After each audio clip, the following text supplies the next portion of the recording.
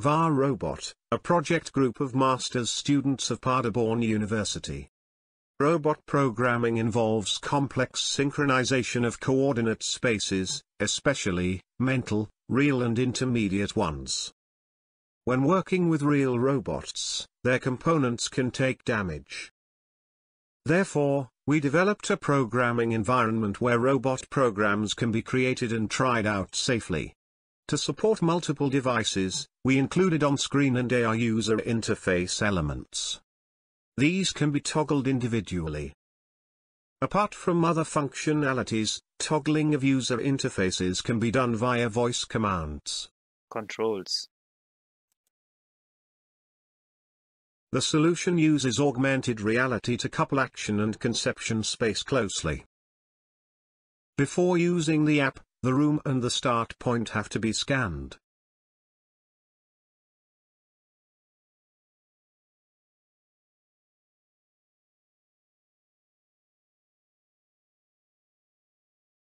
Coordinates to which the robot should move can be selected by placing augmented waypoints.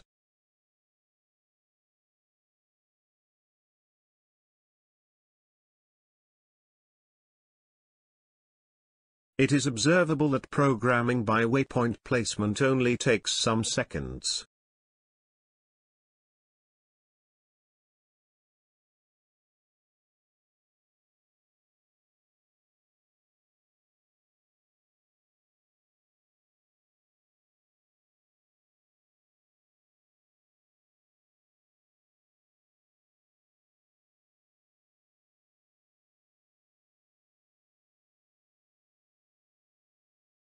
To actually prevent damage from real robots, programs can be simulated in the augmented reality space.